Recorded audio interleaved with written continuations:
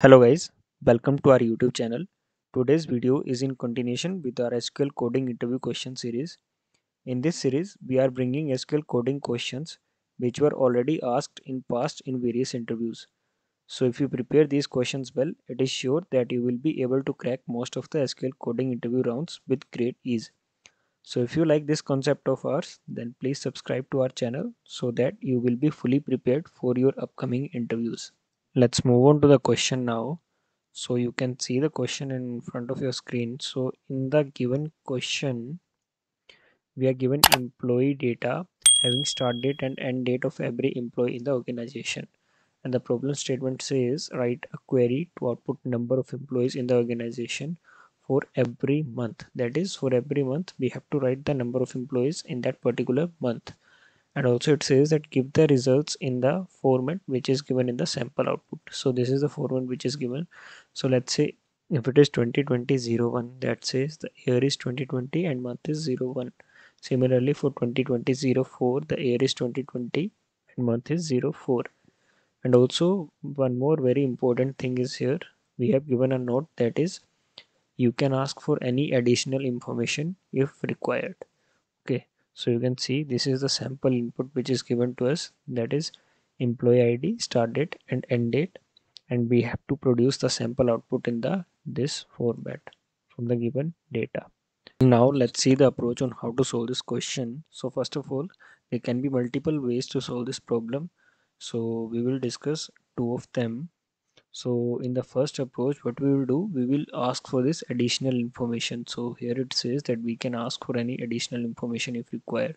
So we will ask for additional information and what is that additional information? That is date table. We will ask for the date table because once we have the date table, it will become a lot more easier to solve this question so let's see how to solve this question using the date table so you can see here this is our approach one so what we are going to do here so here we are using employee table and the date table and we are using inner join on the employee table and the date table using this date id so date id from the date table and start date and end date from the employee table. Using this we will do inner join in such a way that it will decompose this employee table into multiple entries. So how we are doing this? So this we will see in the code so the in the logical way what i can say here let's say we have employee id as 107 so start date for this employee is 2020 01 and end date is 2020 08 so you can just focus on this employee id as of now. So what we will do we will decompose it in such a way that it will create multiple entries for this single record.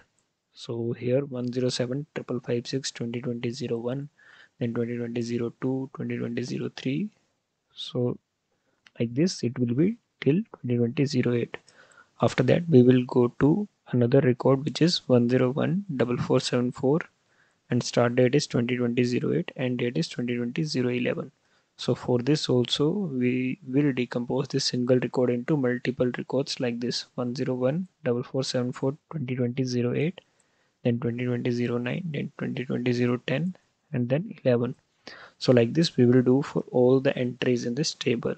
So this is our step one. In step two what we will do so let's see. So step two is simple only.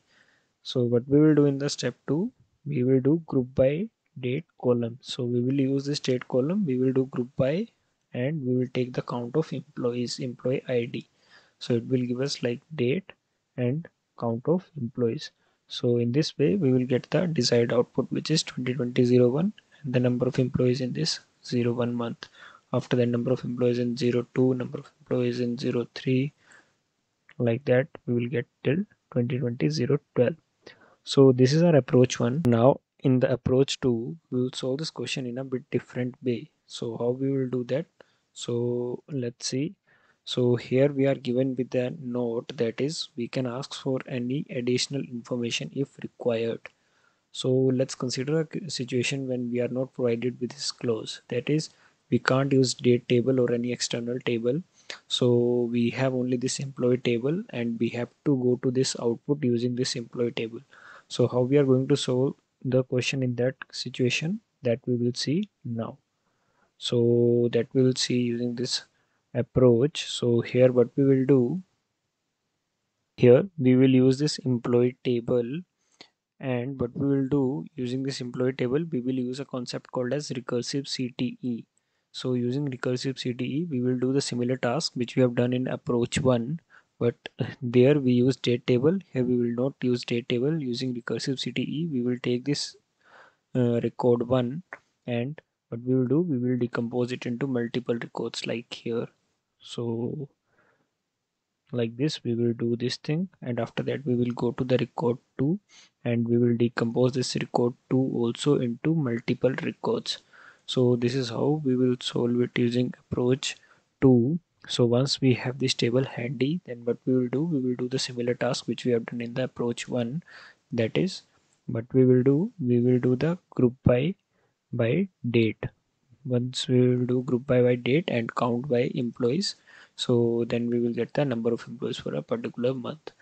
So these are the two approach which we are going to use for solving this query.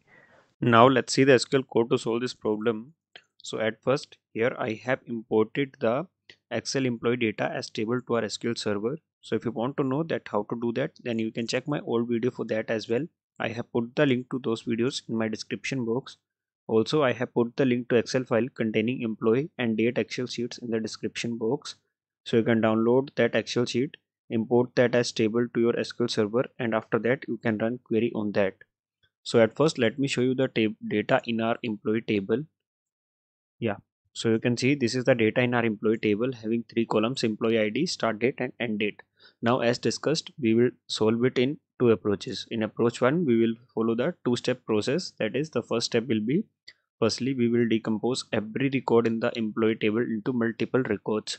Let's say this is the record one having 107 556 2020 01 and 2020 08 so it will get decomposed into multiple records so this is the query for that which i have highlighted so let me run this query first yeah so you can see this is uh, this query is decomposing the table into multiple records yeah so we are getting around 40 records. And after that what we will do we will group by date id and we will count the employee id so let me run the complete query now.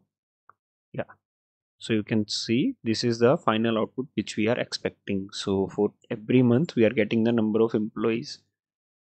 Yeah so this is the approach one to solve this problem. In approach two as discussed we will use a concept of recursive cte so using that concept there is no need to use additional date table. We will only use the employee table and using that we will create a decomposed table. So this is the recursive cte query for creating the decomposed table. So let me show you the records in that decomposed table first. Select star from decomposed table.